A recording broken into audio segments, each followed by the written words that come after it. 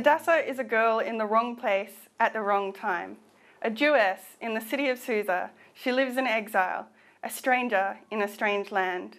Her beauty is such that when the king decides to put away his first wife for refusing to display herself before a party of drunken men, Hadassah has the dubious fortune of being chosen as candidate to be the next queen. She's taken from her family and forced to hide her true identity, taking the Persian name of Esther.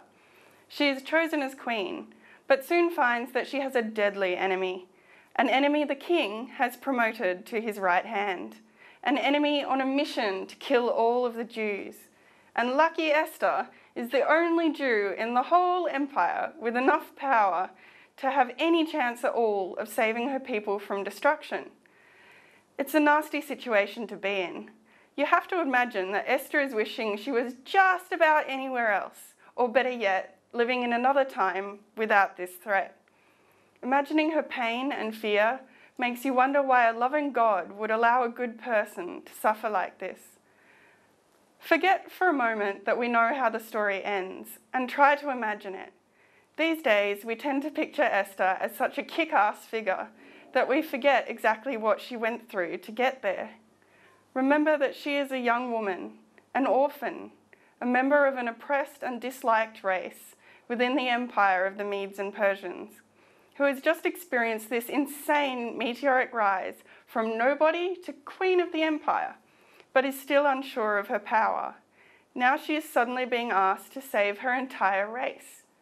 To do so, she has to approach the king without an invitation and risk being executed. If she survives, she will have to reveal that she is Jewish and risk being condemned with the rest of her people. She is being asked to risk her own life to save others. I'm sure you've all experienced that feeling of being in the wrong place at the wrong time. You go to ask your boss for leave and find that she's just accepted someone else's resignation and is feeling really grumpy and stressed. Or a woman with a baby sits next to you on the train and fails to prevent the child from putting muddy footprints on your clothes. Or you find, find out that the scholarship someone had just told you about, which is perfect for you, is only available for people a year younger than you. These wrong place at the wrong time experiences can be more sinister too. Like when you tragically happen to be one of the young people in an American school, when a shooter comes through randomly killing people. Esther must have felt a bit like one of these innocent victims. She has never, herself, done anything to Haman, and he doesn't even know that she's a Jew, yet he randomly decides that he wants to exterminate her people. And because of her position, it is suddenly her job to do something about it. What do you think were the questions running through her head? I imagine they were something like, Why me? Why now? Do I really have to carry the responsibility of saving my entire people? And the guilty question If I don't act, will this destruction really come to me? Or can I escape because I'm the queen and no one knows that I'm a Jew? Esther's situation of being in the wrong place at the wrong time in many ways echoes our own position as this generation facing the ecological crisis and the escalation of climate change. We ask why, out of all of the generations, it has to be us to face this crisis. We ask why the crisis had to become so critical now, in this particular generation, when we've known about climate change for the last 50 years and about the relationship between carbon dioxide and the atmosphere for even longer. We ask whether we really need to sacrifice our own comfort in order to reduce CO2 emissions and move towards a future where we burn less fossil fuels. Finally, as citizens of a rich country like Australia, we ask whether it might be possible for us to personally avoid the consequences of climate change even if we don't act. In some ways, what we are being asked to do is even harder than the task set for Esther. Her challenge was to risk her life by entering the king's presence uninvited. But if he chose to hold out the golden scepter to her and she could convince him to save the Jews, then everything might be okay. We, on the other hand, are not being asked to risk, to risk execution to fight climate change and the ecological crisis. We are being asked to give our lives, though. We are being asked to change the way we live, to live simply so that others can simply live, and to rethink our position in the created order. We are being asked to recycle, to use renewable energy sources, to protect, protect endangered species, to plant native gardens, to turn off lights and taps, and a host of other small changes in our lifestyles and behaviours that can make a world of difference. We are being asked to save ourselves by protecting the only planet we have.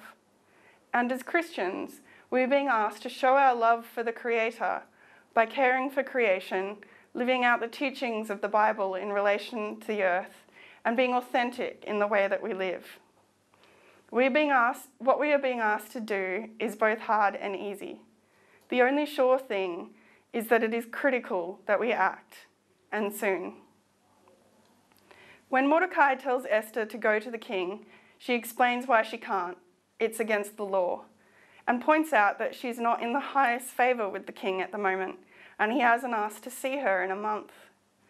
But what she is really saying is, why me? This is a recurring theme throughout the Bible when God calls people to act. When God calls Moses from the burning bush, he replies, Who am I that I should go to Pharaoh and bring the Israelites out of Egypt? God's reply, I will be with you, and you will be given a sign when you have finished the task. Gee, thanks, God. And when the Lord calls Gideon, he replies, But, sir, how can I deliver Israel? My clan is the weakest in Manasseh, and I am the least in my family. Again, God's response I will be with you, and you will succeed. Each time, God is asking for a leap of faith, asking us for us, asking for us to step out and act. Even if the proof that God is with us won't come until after we've done what we've been asked. There are a lot of people in our generation asking, why me, at the moment. Politicians who don't want to risk the economic cost of investing in more sustainable technologies and programs for mitigation and adaptation to climate change. Businesses who don't want to have to change their core business or the way they do things. And people who don't want to have to give up their overseas vacations or petrol guzzling cars. People don't like changing, and climate change is calling on them to change urgently. So some have even turned to denial of the science as an easier option. This allows people to answer the call with, well, I'm not going. Someone else can free Israel from slavery. Someone else can fight the Midianites. Someone else can do my share of the work reducing our collective environmental impact. Mordecai's response to Esther's question of why me is twofold. Firstly, the fact that you live in the palace is not going to save you from this threat. Likewise, the fact that we live in Australia, a rich country, is not ultimately going to save us from the effects of climate change. Our wealth will provide a buffer that poorer nations do not have, but eventually we will be unable to avert our own suffering. We are all in this together. Secondly, Mordecai tells her that it is up to her because God has put her in this position for such a time as this. Everything that has happened to her has been leading up to this moment, this opportunity to serve God in this important way. Again, these moments are recurring themes in the Bible.